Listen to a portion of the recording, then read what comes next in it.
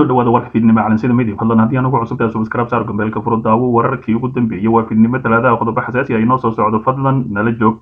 Xildhibaan odowaa beentii saddex sano iyo bar. Toddoba daqiiqa ayay ku soo gabagabowday ayuu yidhi. Si kastaba ahaatee si xun ayuu u bahdilay madaxweyne farmaajo islamarkaasina sheegay in lagu hareeraysan yahay hase ahaatee ra'iisul wasaare ama xukuumaddii awoodda badneed toddoba daqiiq ayaa lagu soo gabagabeeyey xildhibaan cabdiraxmaan maxamed xuseen odowa ayaa sheegay in xukuumadda federaalk soomaaliya aysan u diyaar garoobin qabashada doorasho qof iyo cod ahi balse qof walba uu jeclaan lahaa inay taasi dhacdo hase ahaatee wakhtigeedii ee gabagaba yahay odowa oo ah xoghayaha madasha xisbiyada qaran ee hogaamiyo sheekh shariif sheekh axmed ayaa aaminsan in xukuumaddii la riday aysan muddo saddex sano iyo bar ku diyaarin qorshaha doorashooyinka qof iyo cod ahi. Sidoo kalena aysan meesha ka marnayn madaxtooyada iyo guddiga doorashada ee dalka. Dhammaan soomaalida waxay jeclaan lahaayeen in la qabto doorasho qof iyo cod ahi balse waxaa la isku raacsan yahay inaan loo diyaar garoobin guddiga doorashadana madaxtooyada iyo xukuumaddii kalsoonida lagala noqdayba aysan muddo saddex sano iyo bar ahi ay u diyaar garoobin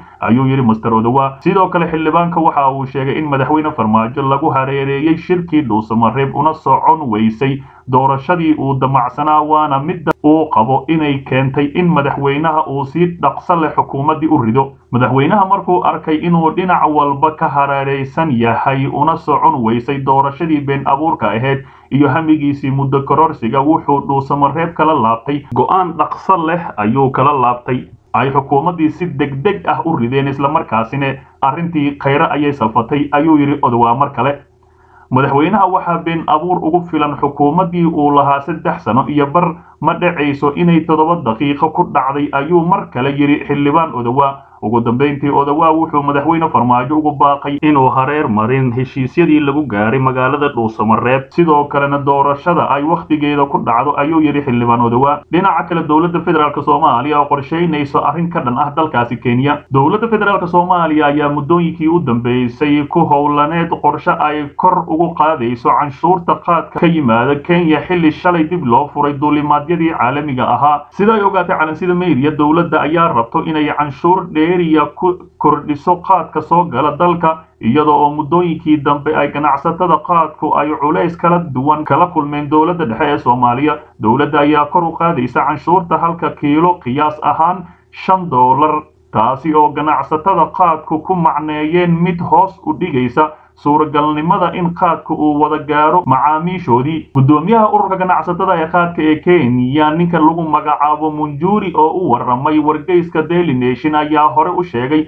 in dowladda federaalk ay maalmihii u dambeysay ay kala kulmayeen cadaadisyo xooggan iyadoo uu dambeysay diyaaradii qaadka u siday deegaanada puntland ee dib loogu celiyey kenya. Munjuri ayaa walaac xooggan ka muujiyey tallaabooyinka ka dhanka ah ee dowladda federaalk maadaama uu sheegay u horseeday khasaaro maaliyadeed oo hor leh ayuu yidhi munjuri ayaa waxaa kale oo uu sheegay in dowladda federaalk ay iska dhaga tirtay cabashooyinka ku aadan tallaabooyinkii u dambeeyey taas oo uu ku macneeyey mid nasiib darro ahi. Sidoo kale waxa uu dowladda kenya ku canaantay inaysan dhiggeeda soomaaliya kala hadlin arrimahaasi oo dhulka geliyey dhaqaalihii buurnaa ee ganacsatada iyo dowladda kenya ay ka heli jireen dhoofinta qaadkaasi xilli ay labada dowladood ka dhex aloosan tahay xiisad aad u culus. Dowladda soomaaliya ayaa ku doodaysa inay diyaaradda kenya ee siday qaadka ay ku xadgudubtay xanibaadihii cudurka caabuqa sagaal iyo toban ee lagu joojiyey qaadkaasi inkasta oo si tartiib ahi loo wada qaaday xayiraadii cudurkaasi. Dhinaca kale aqalka sare oo ansixiyey xubin ka mid ahi guddiga madaxa bannaan ee doorashooyinka qaranka. Golaha aqalka sare ee baarlamaanka federaalk soomaaliya oo maanta yeeshay kulankoodii afraad ee kalfadhigii toddobaad ajendaha maanta waxa uu ahaa ansixinta xubin ka mid noqonaysa guddiga madaxa bannaan ee doorashooyinka qaranka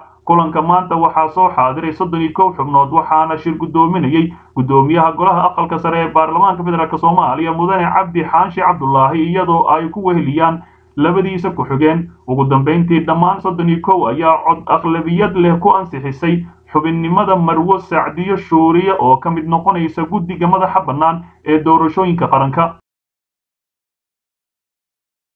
wararkii ugu dambeeyey magacaabista ra'iisul wasaaraha cusub iyo shakhsiyaad dhowr ahi oo la soo kala xulay madaxweyne farmaajo oo wakhtigiisii ugu dambeeyey soo kala xulanaya ra'iisul wasaaraha cusub islamarkaasina keliya uu sugayo ku dhawaaqistiisa madaxweynaha soomaaliya maxamed cabdilaahi maxamed farmaajo ayaa laga yaabaa in saacadaha soo socda si rasmi ah u magacaabo ra'iisul wasaaraha cusub ee bedeli doona ra'iisul wasaarihii lama filaanka ku baxay ee xasan cali kheyr islamarkaasina horaantii sanadihii la soo dhaafay la dhihi jiray xididdo waaweyn ayuu ku leeyahay baarlamaanka federaalk soomaaliya laakiin wuxa uu noqday ra'iisul wasaarihii ugu fududaay ee daqiiqado gudahooda xilka looga tuuro. Sida aan wararka ku helayno madaxweyne farmaajo ayaa soo gabagabeeyey. Inta badan wada tashiyada uu la samaynayay la taliyayaashiisa gaarka ah oo ku aadanaa shaksiga ku habboon ee xilligaani loo magacaabi karo xilka ra'iisul wasaaraha soomaaliya islamarkaasina xukuumadda ay wakhti yar u harsan tahay madaxweynaha iyo xubnaha ku dhow dhow ayaa xog waraysi la yeeshay shakhsiyaad dhowr ahi oo doonaya inay qabtaan xilka ra'iisul wasaaraha cusub ee soomaaliya iyo kuwa iyagu ay la jeclaadeen waa filla soomaaliya ama madaxtooyada soomaaliya islamarkaasina waraysiyadii ugu dambeeyey soo gabagabeeyey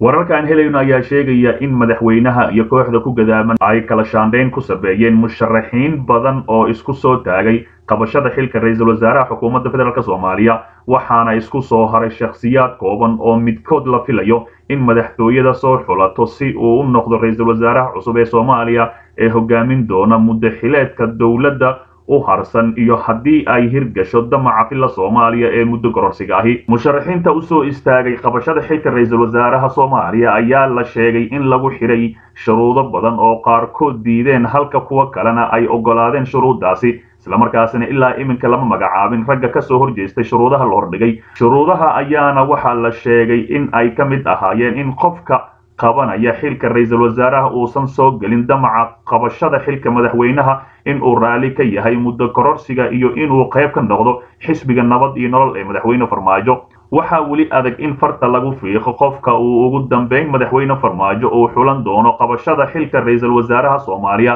waxaana aad loo hadal hayaa shakhsiyaad caan ahi oo dowladda horay uga tirsanaa in midkood xilkani loo magacaabo islamarkaasina saacadaha soo socda la filayo. Fadlan calansida media la joog. Dhinaca kale diyaarad ay leeyihiin ciidamada dalka kenya oo dhoobley ku burburtay iyo wararkii ugu dambeeyey ayaa ka soo baxaya. Wararka laga helayo gobolka jubbada hoose ayaa sheegaya in saacadihii la soo dhaafay diyaarad nooca militariga ah ee ay leedahay ciidamada dalkaasi kenya ama leeyihiin ee qaybta ka ay howlgallada amisom ee ka socda soomaaliya ay ku burburtay garoonka diyaaradaha ee degmada dhobley ee gobolka jubbada hoose. Diyaaradani oo sahay u siday ciidamada kenya ee ku sugan degmadaasi ayaa la sheegayaa inay shil gashay xilli ay doonaysay inay caga dhigato garoonka diyaaradaha ee dhobley ugu yaraan hal qof ayaa ku dhintay shilkaasi iyadoona ay ku dhaawacmeen ilaa saddex kale oo dhammaan ahaa howlwadeennada la socday diyaaraddaasi burburtay khasaaraha ayaa lagu soo warramaya inuu yareeyey dadka la socday diyaaradda oo aad u koobnaa sidoo kale waxaa lagu guulaystay in la demiyo dab qabsaday diyaaradda oo la soo wariyey inay dhacday xilligii ay burburaysay islamarkaasina gebi ahaanba la demiyey ilaa iyo hadda lama oga sababta rasmiga ah ee ka dhashay shirkaasi diyaaradeed. Weli ma jirto wax hadal ah oo ka soo baxay saraakiisha ciidamada kenya iyo kuwa soomaaliya ee ku sugan dhobley